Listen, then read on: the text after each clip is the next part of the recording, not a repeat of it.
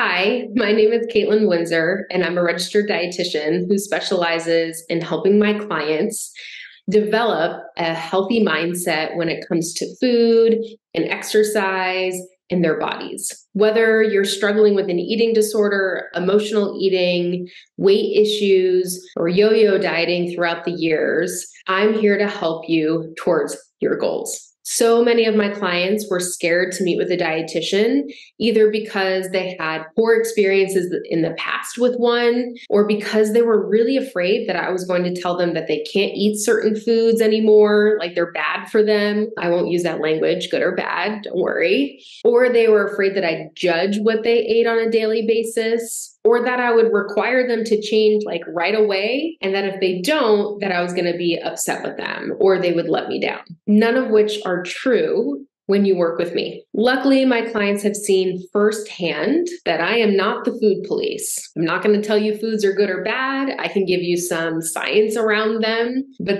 I'm never going to use the words good or bad because it's just simply untrue. I also meet my clients where they're at when they come in. If you're coming in and you're you know just starting out in the process of trying to figure out where all this food noise comes from or why you're struggling with your weight i'm not here to just jump right in to these are all the things you need to change.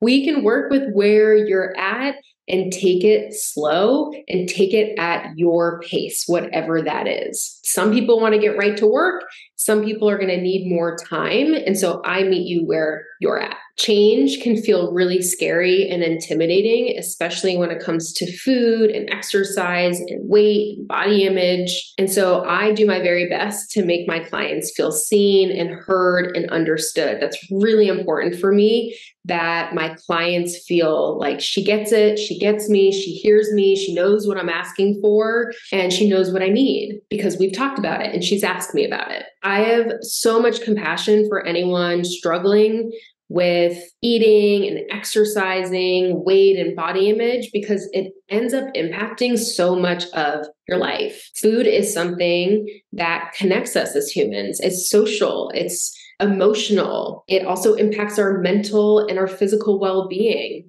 So it's not just this like thing over on the side that if we struggle with it, the struggle stays over here. It's like it kind of infiltrates into our whole lives. I understand how vulnerable it is to come in and see a dietitian, to open yourself up to conversations around food and exercise and weight and body image. Food isn't just food, it can become our best friend, a way to try to feel like we have control in our lives, a way to avoid how we're really feeling inside, and even a way just to cope with how we're feeling in life. When I ask a client to tell me a little bit about their thought processes around food or their relationship and mindset around food, I fully understand that I'm actually asking the client to tell me about who they are, what matters to them, what their fears are, and what they've been through. I don't take these conversations lightly with my clients, and truly it helps me to understand how their brains organize themselves around food.